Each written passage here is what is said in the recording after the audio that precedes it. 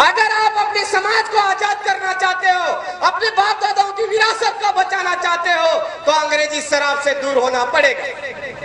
दूसरी बात, आज मेरे प्रतापगढ़ ज़िले के अंदर सबसे ज़्यादा बड़े बड़े झंडे लेकर के जाते हुए लोग कौन दिखते हैं? सबसे ज़्यादा हमको रतलाम ज़िले के लोग दिखते हैं। सबसे ज़्यादा हमको झाबुआ ज़िले के लोग दिखते हैं सबसे ज़्यादा अलीराजपुर ज़िले के लोग दिखते हैं जिस टाइम में लॉकडाउन लगा ना, उस टाइम में भी सबसे ज़्यादा लठ खाने वाले लोग भी इधर के ही देखे हैं मैंने। भूल गए? छोटी सादरी से लगा करके, इस रतलाम छोटी सरवन तक,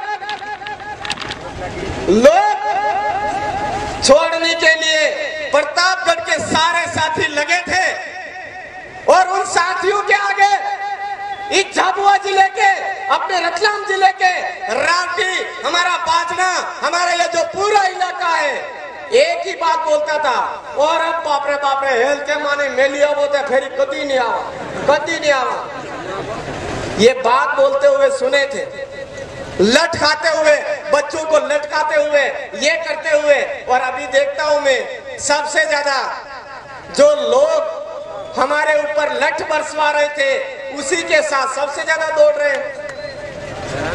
अरे जो बीजेपी शासनकाल हमारे लोगों को ढांडू की तरह पीटा, भेड़ बकरियों की तरह पीटा, उन्हीं लोगों का हमको साथ देते हुए मिलते, बोलो हमको शर्म आनी चाहिए या नहीं आनी चाहिए? अरे यहाँ से हम दौड़े दौड़े झंडे उठा उठा करके, दौड़े दौड़े पता नहीं कहाँ कहाँ तक जा रहे हैं। हमको शर्म आनी चाहिए या नहीं आनी चाहिए? हमारे अपने बाप दादा जो सीरा बाप है, उनके लिए कभी वोट ले